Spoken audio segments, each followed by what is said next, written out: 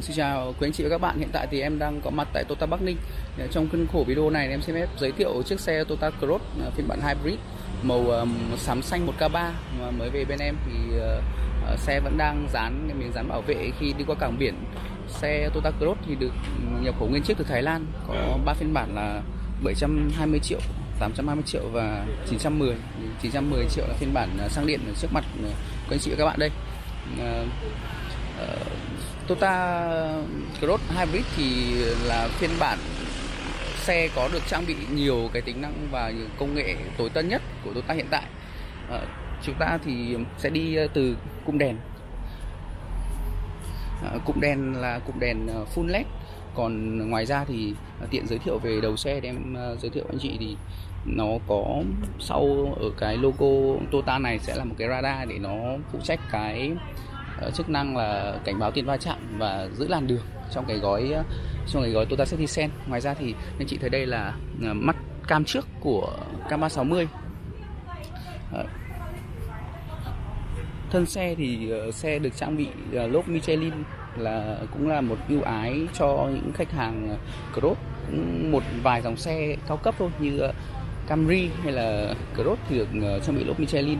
Nếu mà anh chị xuống đến phiên bản ờ, cam ờ, Cross tiêu chuẩn 720 triệu thì còn không thì là sẽ sử dụng cái lốp Bridgestone chứ không phải là lốp Michelin. Ngoài ra thì uh, la răng ở bản hybrid và bản uh, và bản uh, xăng cao cấp sẽ được trang bị là la răng phai xước. Có um, đường kính la răng là 18 inch. Hybrid ạ ngoài ra đây uh, ờ, chi tiết uh, cam ở trên gương.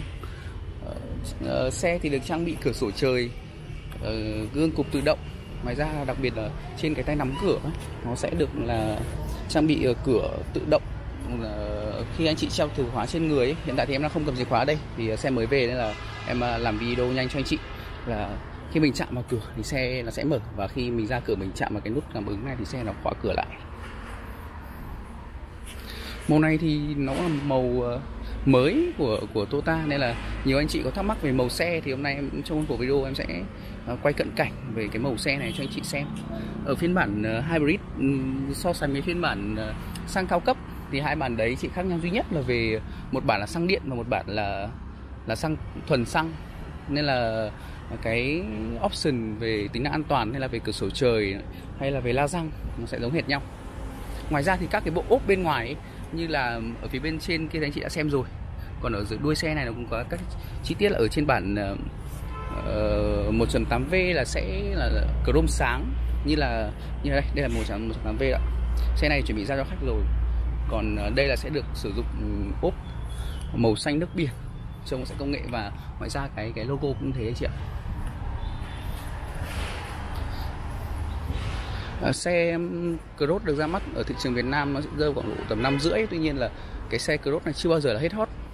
Nên là anh chị ờ, muốn đặt xe sớm hay nhận xe sớm hay có cái chương trình ưu đãi gì cho khách hàng ở Bắc Ninh hay là những cái vùng ờ, chưa có đại lý như Lạng Sơn, Cao Bằng thì có thể liên hệ giúp em qua cái số hotline để trên màn hình. Để em sẽ kiếm xe sớm nhất cho anh chị. Ngoài ra thì bên em đang triển khai gói hỗ trợ trả góp lên đến 90% giá trị xe. Có nghĩa là chỉ cần bỏ ra 10% giá trị xe. Như con hybrid này là 91 triệu cộng với những cái vùng ờ, thuế là 10% hoặc 12% thì sẽ rơi khoảng độ thêm 100 triệu nữa thì là anh chị có thể lăn bánh chiếc xe ra ngoài đường. Vừa rồi thì em ờ, trong khuôn khổ giới thiệu nhanh thì em ờ, giới thiệu qua cho anh chị như vậy. Còn uh, cụ thể như thế nào thì em sẽ hẹn anh chị ở video sau. Và cần thông tin gì mới nhất anh chị liên hệ với em qua số hotline. Em cơn và hẹn gặp lại.